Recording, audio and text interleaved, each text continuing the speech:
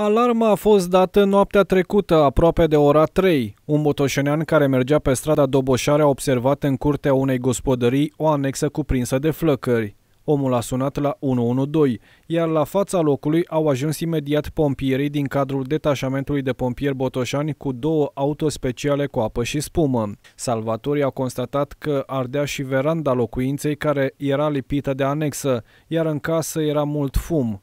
Pentru că nu exista nimeni care să ofere informații despre proprietari, pompierii au început să caute posibile victime, în același timp cu stingerea incendiului.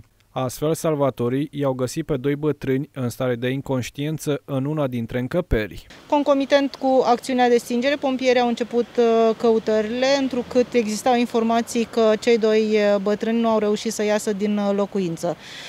Cei doi soți, în vârstă de 86 de ani, au fost găsiți într-una dintre încăperi. Ei erau în stare de inconștiență. Salvatorii au început manevrele de resuscitare până la sosirea echipajelor de prim ajutor.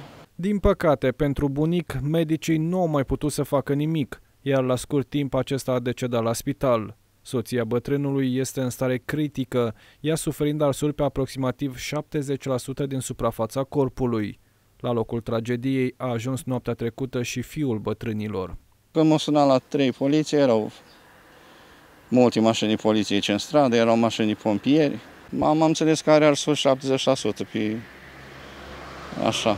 Am înțeles că la foc de la sandoal este care a fost aici. Erau două, ca un fel de garaj așa cu țoale, cu nu știu ce, cu...